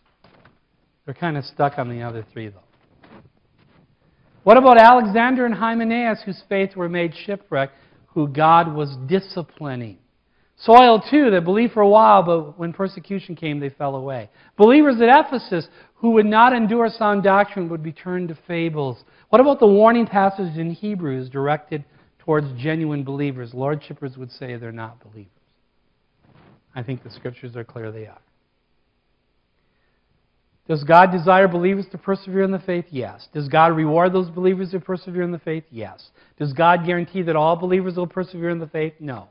Desired but not guaranteed, resulting in a reward or loss of reward, but never the loss of eternal salvation. Number six. An hour later. Now, you understood all that, right? Covered so far? Okay, hopefully that'll be really clear. Number six, Lordship salvation muddles meaningful motivations. Let's say that ten times quick. To serve Christ out of his love for us and our thankfulness to him for saving us. And it makes a godly life an experiment to be lived in order to prove to ourselves that we are saved. Now, just think about this for a minute. If you don't know for sure you're saved, and if you don't know for sure you're elect, and the only proof of that is your life, you better live a holy life in order to prove what? That you're saved, that you're elect. Are you doing it then for the glory of God? Are you doing it out of the love of Christ? Or is the fear of hell somewhere there? Because of the lack of absolute assurance of salvation, one's life is a Big experiment, Jody Dillow calls it, experimental predestinarianism. In other words, it's experimental whether or not you're truly predestined. One's life is a big experiment in order to discover if they're truly elect or not. Thus, the fear of hell plays at least a part in their motivation to live for Jesus Christ. And though the fear of eternal judgment in hell are great reasons to trust in Christ and be saved, they are never presented in in the scriptures as motivations to live for Christ. Okay? Now let's go to 2 Corinthians chapter 4 here for a minute. 2 Corinthians chapter 4.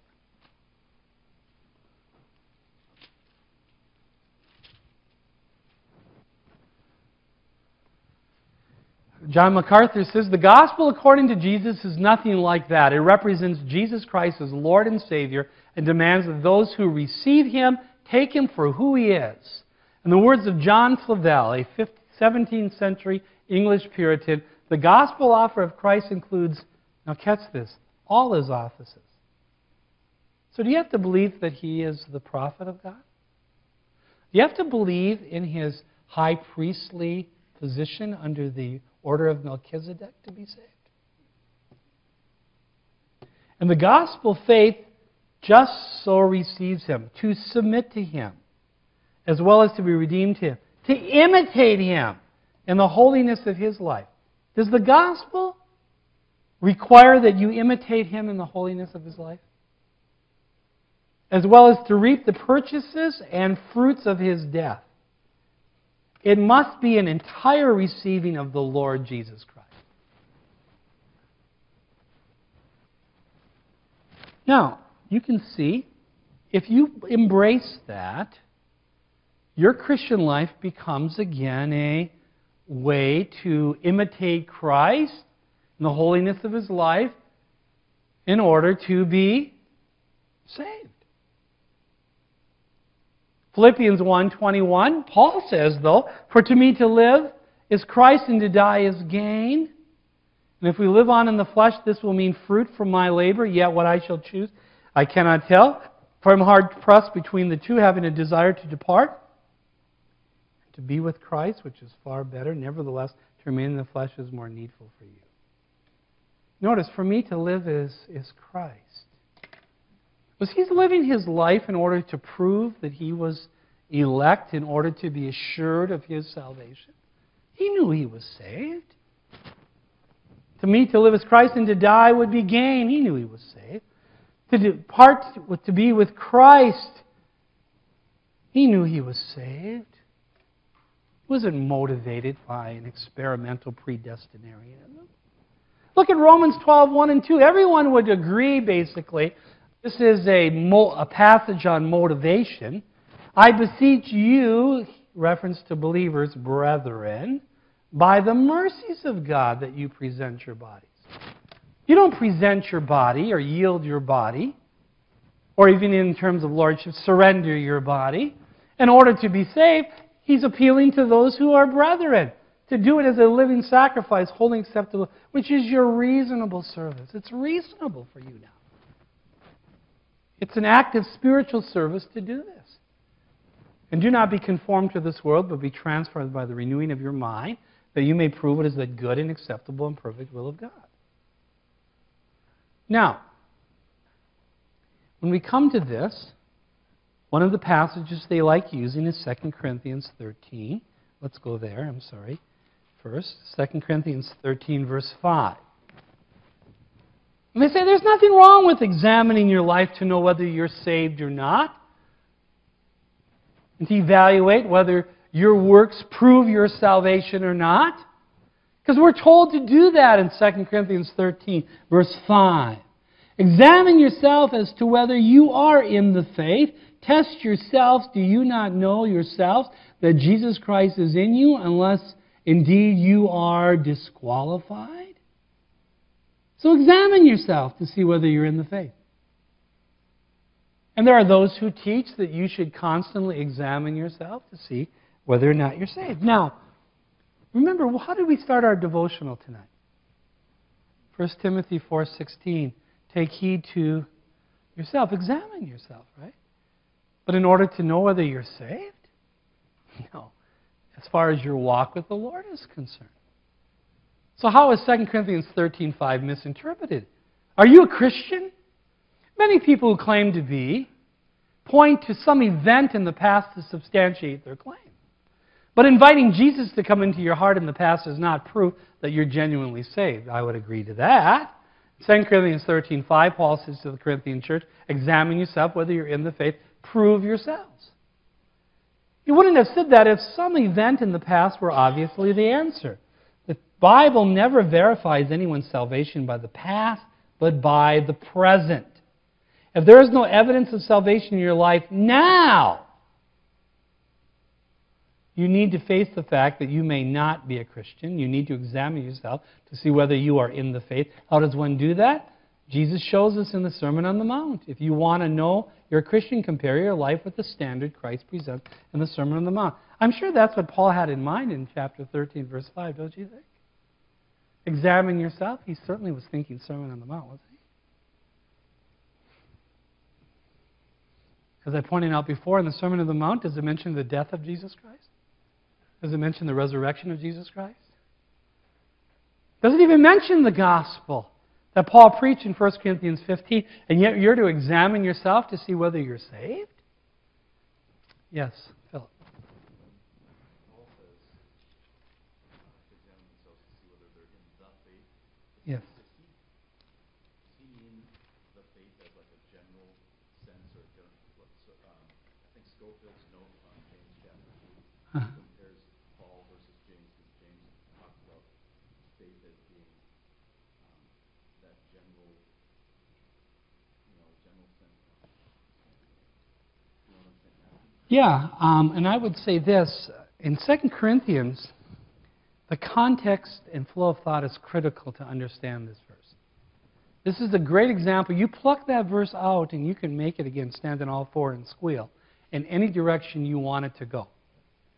So, what's the context? Well, beginning in chapter 10, let's go back there, verse 1. Now, I, Paul, myself, am pleading with you by the meekness and gentleness of Christ. By the way, a little tongue in cheek there, because he was being accused of being authoritative and heavy handed. Who is present in presence and lowly among you, but being absent and bold towards you, that was another rap that he was getting. But I beg you that when I am present, I may not be bold with the confidence by which I intend to be bold against some who think of us as if we walked according to the flesh. Now, there's another criticism he was getting. You know, Paul, he just walks according to the flesh. He just carnally does it in his own power, he overextends his authority.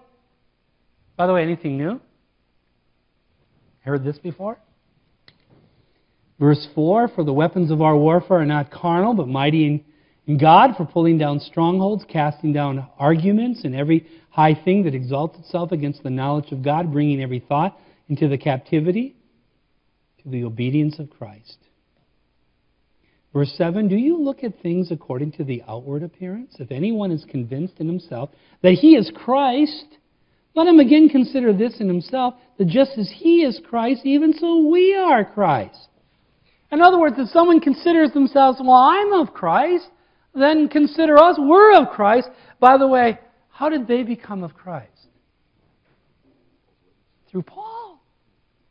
And that's going to be the whole flow of thought here. Is if I'm an illegitimate apostle and you were supposedly saved through my ministry, what does that make you?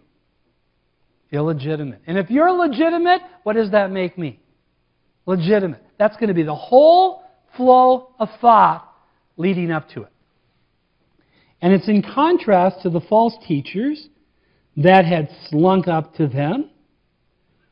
He says in verse 12, For we dare not class ourselves or compare ourselves with those who commend themselves, these false teachers, but they measuring themselves by themselves and comparing themselves among themselves are not wise. We, however, will not boast beyond measure, but within the limits of the sphere which God appointed us, a sphere, sphere which especially includes you.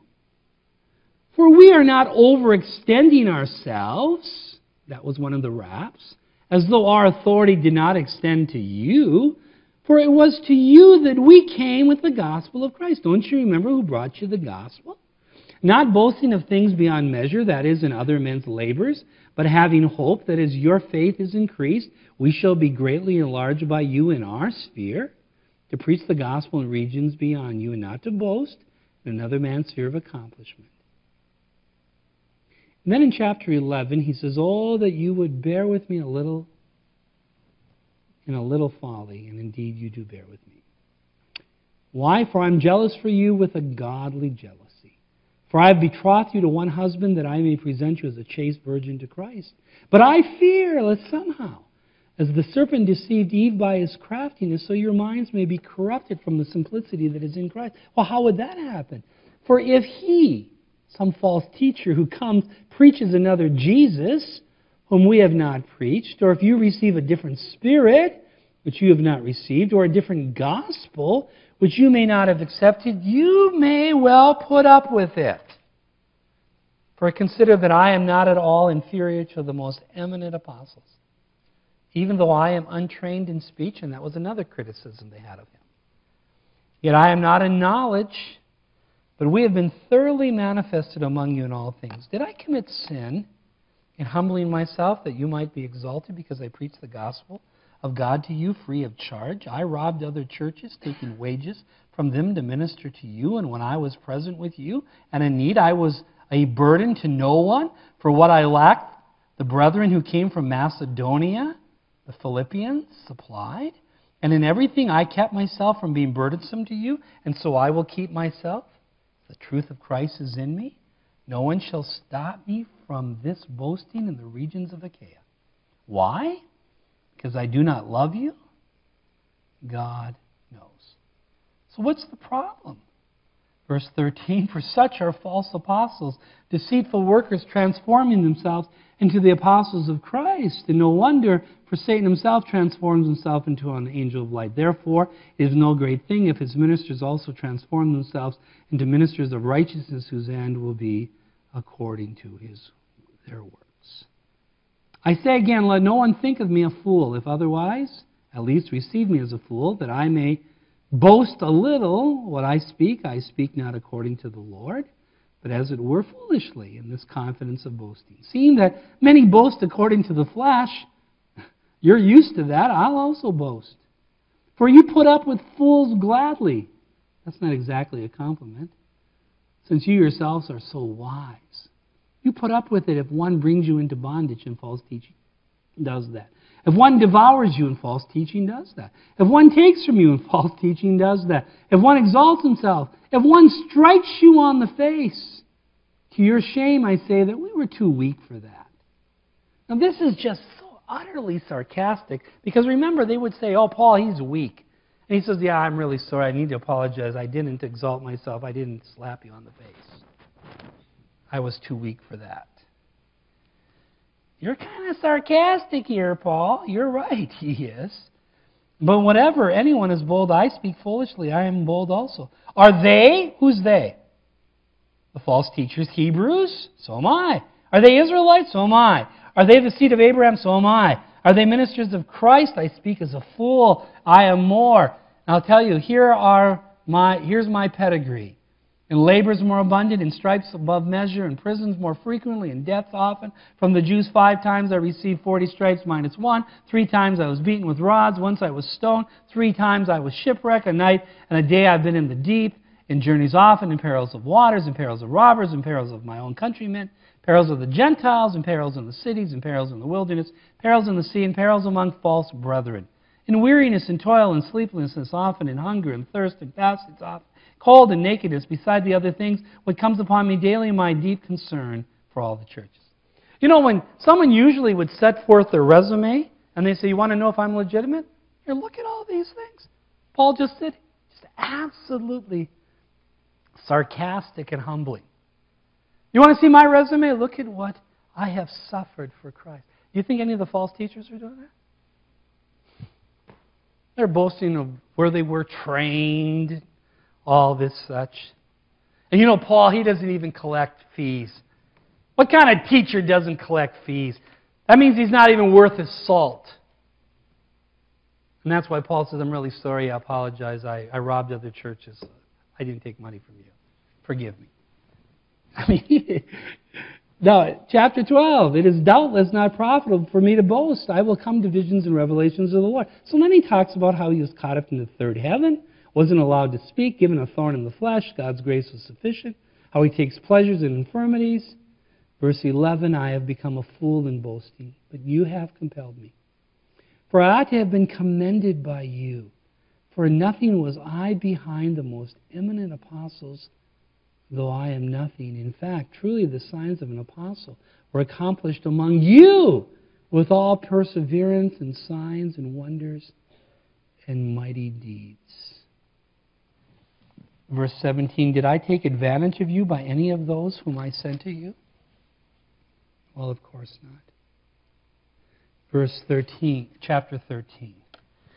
This will be the third time I'm coming to you.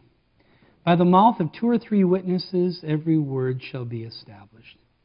I have told you before and foretell as if I were present the second time, and now being absent, I write to those who have sinned before and to all the rest,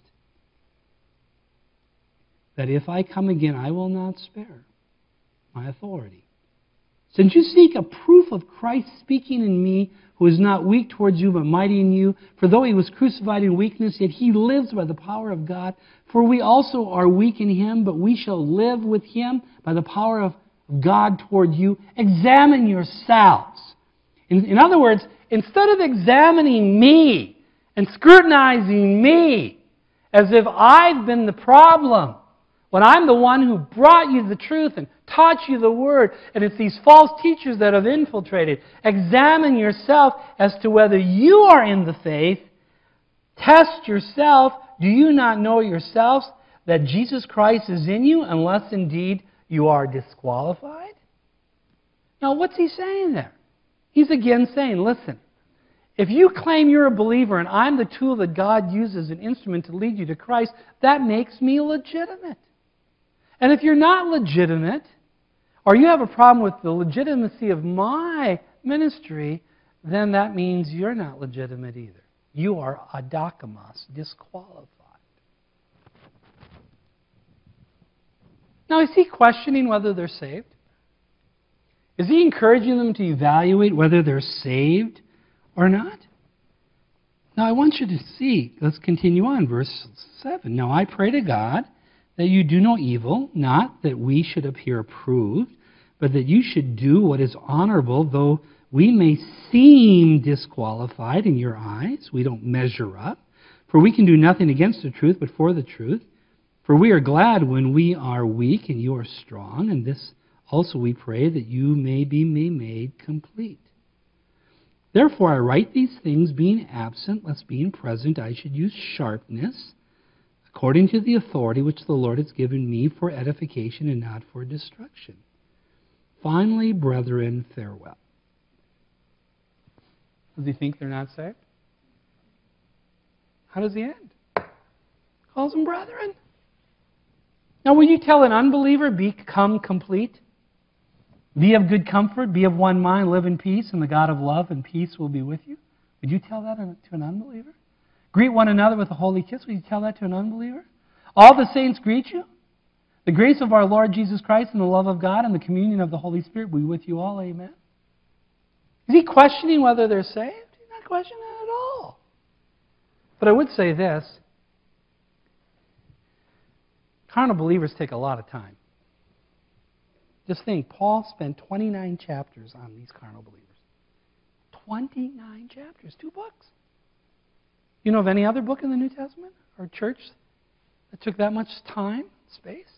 Carnal believers complicate life and take a lot of time, oftentimes. That wouldn't you think Paul would rather have spent his time evangelizing, spent his time doing other things? But he's here out of love, trying to help these carnal believers. And what do they do? They question whether he's even legitimate. Carnal believers can become very delusionary very goofed up. And so, while the Lordshippers take this passage to say, you want to know if you're saved? See if you're living according to the Sermon on the Mount?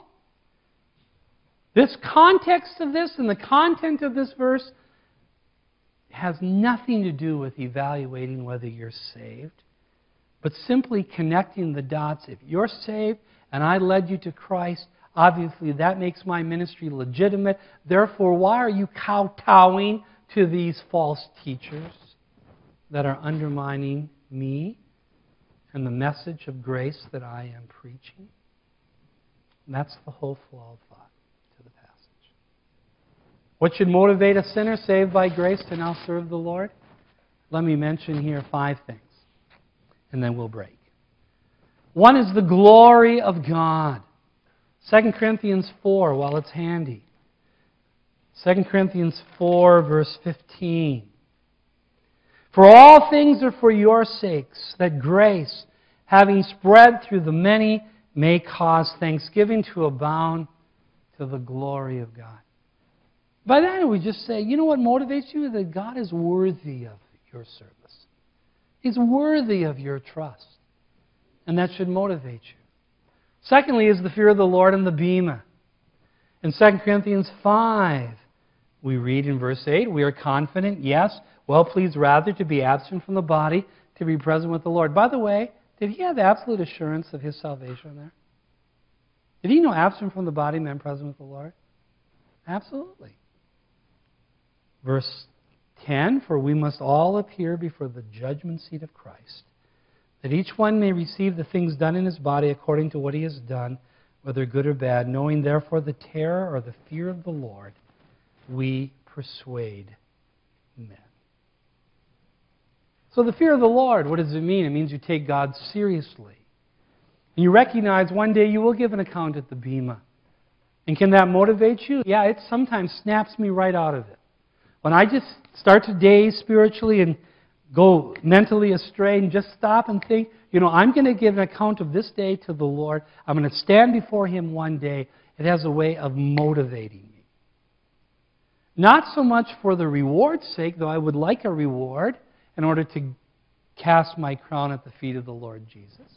But it's just a reminder of the sense that I am going to give an account to the Lord one day. He then goes on to talk about the motivation, which I believe is the greatest motivation of all the love and grace of Christ. Verse 14 tells us, For the love of Christ compels us, because we judge thus that if one died for all, and he did, then all died in Christ, your position. And he died for all, substitution, that those who live with a new life in Christ should live no longer for themselves, but for him who died for them and rose again. What's motivating? The love and grace of Christ. Fourthly, the destiny of the lost.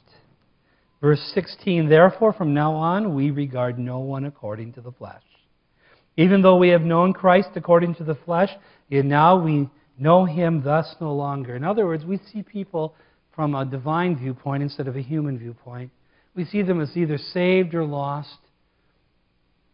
And we know the God of this world has blinded the minds of them which believe not. Thus we keep on preaching Christ and ourselves, your servants for Jesus' sake. And you know, the destiny of the lost has been a great motivation for many a missionary to go where Christ has not been preached before. Along with the privilege of ambassadorship. And the passage ends by talking how we are now ambassadors for Christ. And by the way, being, being an ambassador for Christ is a great honor. You know, if you respected your president, and many of us don't, his position, but not his person or his policies, but if you respected your president and he asked you to be an ambassador, you would take that as a really great honor. And that's what Jesus Christ has done for you and me. He has made us ambassadors for Christ. We represent him on foreign turf. One day we're going home to heaven. In the meantime, he wants to use us in the ministry of reconciliation. He's given to us the message of reconciliation, the gospel, so that we plead with the unsaved to be reconciled to God. For he made him who knew no sin to be sin for us, that we might become the righteousness of God in him. Now, again, all of this is connected to your position in Christ. And being motivated to serve and being enabled to serve is two different things. One may be very motivated to serve and end up in Romans 7. Apart from recognizing your position in Romans 6 and the power of the Holy Spirit in Romans 8, you could still end up in Romans 7. Again, cranking it out in your own flesh. But these are legitimate motivators set forth to us in Scripture as a composite. And you know, depending on the person and maybe situation in your life, one may motivate you, may perhaps more than the other. But they're all there. It's like, why should you serve your mate? I don't know that it's just one reason. So, well, I love my mate, yes. If I don't, she's going to be really mad, yes. And if, uh, yeah, and, you know, so there may be more than one motivation, and the same it is when it comes to the Lord. But I want you to notice what's missing no fear of hell. Fear of hell is never a motivation to live the Christian life. We're not experimental predestinarians living our lives to prove that perhaps we are one of God's elect and waiting till the end of our life by enduring faith to find out if we really are. after our break.